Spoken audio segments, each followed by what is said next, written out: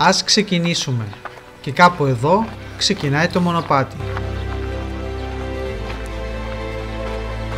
Η διαδρομή μας είναι 15 χιλιόμετρα. Ξεκινάμε από το χωριό Κιμέρια με κατεύθυνση της Αναμογεννήτριας. Αποφύγαμε να ανεβούμε από το κλασικό χαλικόδρομο. Το μονοπάτι είναι πιο σύντομο αλλά και πιο απότομο. Μόλις 5 χιλιόμετρα από το χωριό αλλά με αρκετά σκληρή ανάβαση των 750 μέτρων. Αφήνουμε πίσω το χωριό μας και χανόμαστε μέσα στο δάσος.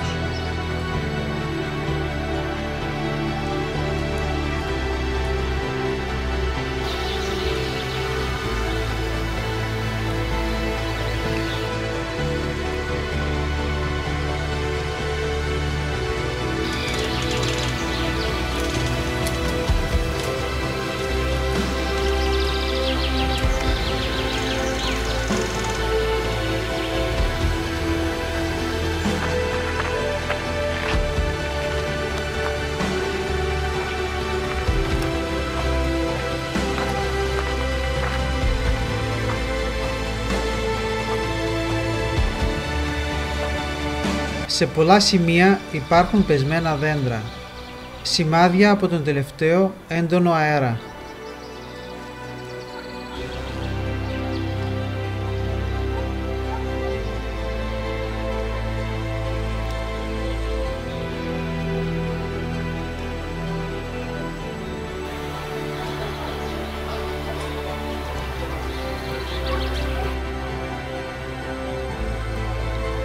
Στην διαδρομή μας θα συναντήσουμε πετρώδες έδαφος με ωραίους βράχους στιβαγμένοι σαν τα τουβλάκια ντόμινο.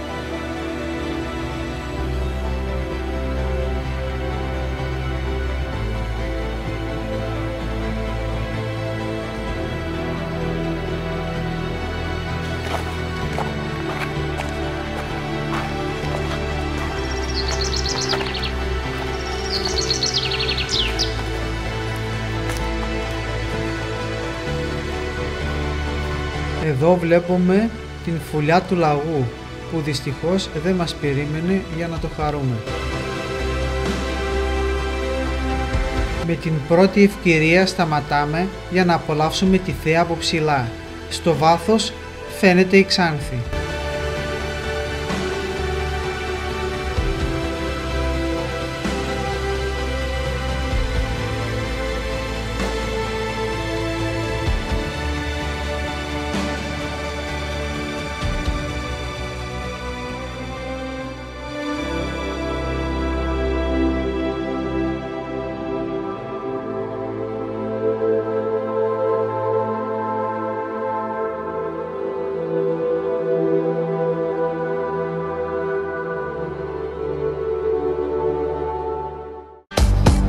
Ύστερα από μία σύντομη στάση για φωτογραφίες, συνεχίζουμε το ταξίδι μας προς την κορυφή για τις ανεμογεννήτρες.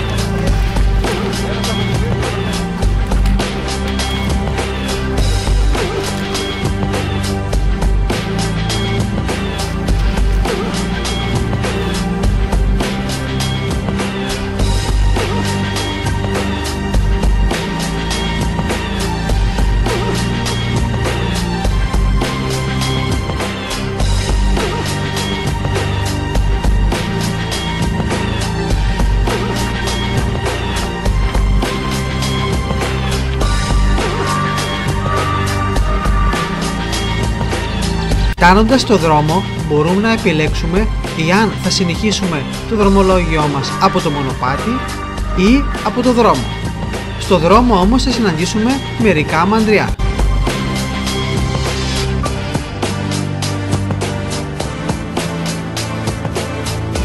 Εμείς όμως θα συνεχίσουμε από το μονοπάτι, το οποίο θα ξεκινήσει και πάλι να είναι ανηφορικό.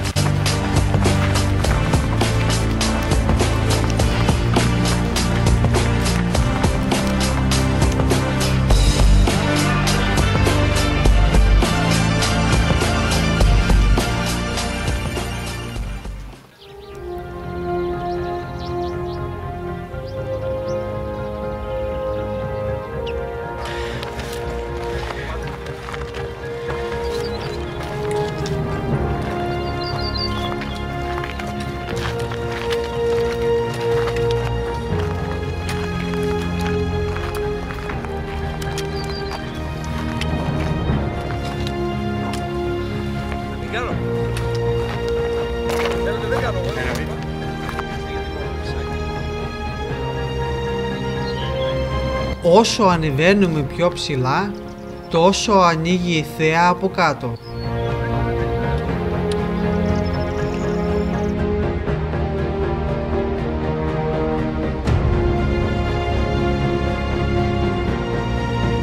Οι ανεμογεννήτριες σου δίνουν την εντύπωση ότι το βουνό έχει φτερά.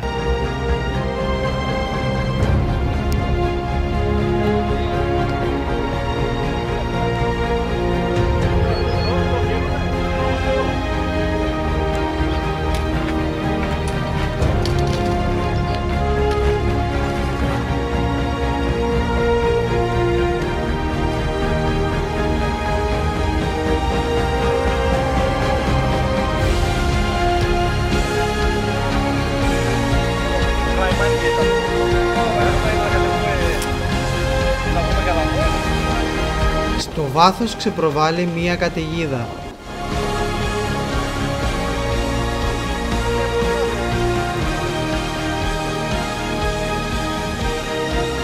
Βλέποντας την εξέλιξη του καιρού, ελπίζουμε να μην μας πιάσει η καταιγίδα στο δρόμο.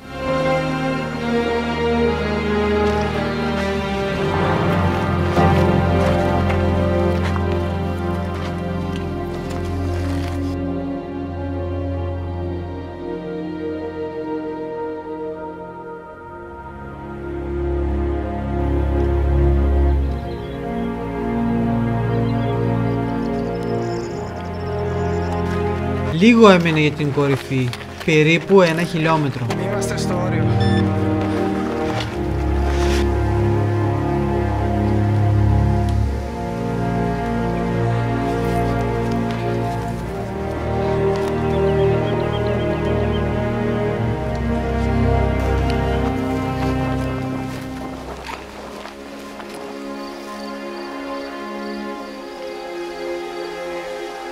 Και κάπου εδώ φτάνουμε στο πρώτο αξιοθέατο.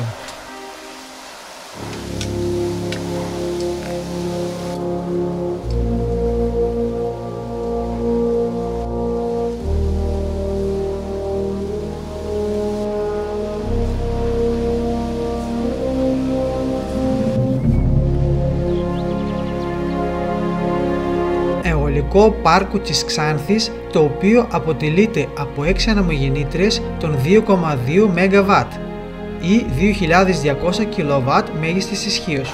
Το συνολικό ύψος του κάθε πυλώνα φτάνει τα 80 μέτρα και διάμετρος φτερωτής 110 μέτρα. Το αιωλικό πάρκο έχει ικανότητα να καλύψει το 55% των ηλεκτρικών καταναλώσεων της Ξάνθης.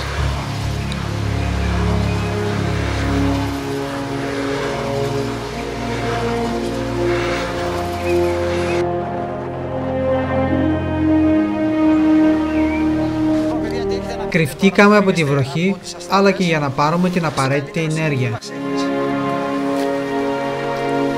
Και κάπου εδώ ξεκινάει η κατηφόρα της επιστροφής.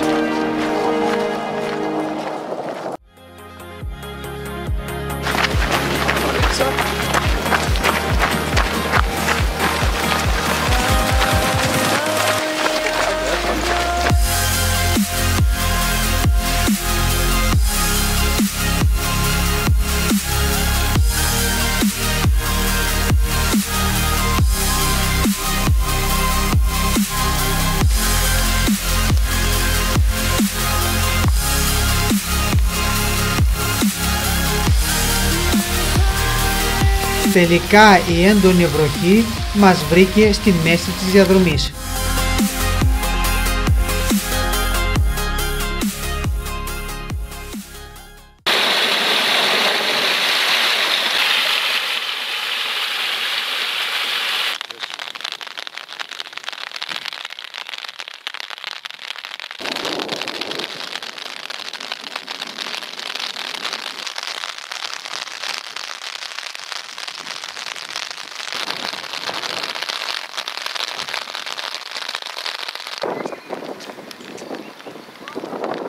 Η βροχή σταμάτησε.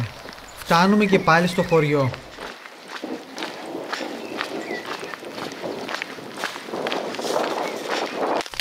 Η εκδρομή μας έλαβε τέλος και φεύγουμε με ευχάριστες αναμνήσεις.